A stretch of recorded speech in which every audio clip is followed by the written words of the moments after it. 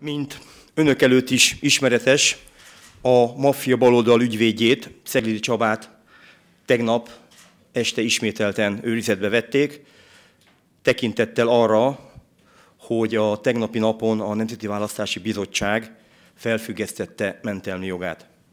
Ceglédi közel egy napig volt szabadlábon, és ez, ez az idő elegendő ahhoz, hogy a szükség, az, azokat a bizonyítékokat, amelyek a büntető eljárással kapcsolatosan keletkeztek, eltüntesse, és azokkal a politikus társaival, akik érintettek a büntető ügyben, azokkal beszéljen.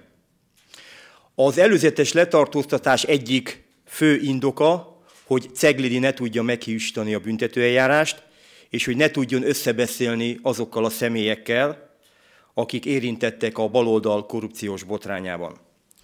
Ezek az elvek súlyosan sérültek azáltal, hogy a baloldal ügyvédjét, Ceglédit szabadlábra helyezték. Ez a joggal való visszaélés tipikus esete, amelyet Gyurcsány Ferenc és az MSZP ügyvédje követett el. Nem véletlen, hogy a tegnapi napon az MSZP és a párbeszéd Nemzeti Választási Bizottságba delegált tagja úgy szavazott, hogy Ceglédi Csaba mentelmi jogát ne függesszék föl.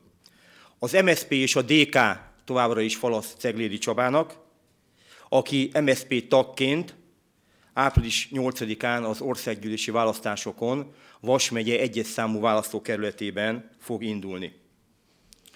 Most itt felszólítjuk a maffia baloldal miniszterelnök jelöltjét, Karácsony Gergelyt, és a maffia baloldal két pártjának elnökét, Molnár Gyulát és Gyurcsány Ferencet, hogy válaszoljanak arra, hogy ez alatt az egy nap alatt találkoztak-e Ceglidi Csabával, vagy kapcsolatba léptek vele bármilyen módon. Továbbá, amennyiben találkoztak vele, miről beszéltek egymással, és mi hangzott el azon a beszélgetésen. Én azt gondolom, hogy egy magára valamit adó miniszterelnök jelöltnek, vagy egy magára valamit adó pártelnöknek, akár Molnár Gyulának, akár Gyurcsány Ferencnek ezekre a kérdésekre válaszolni kell.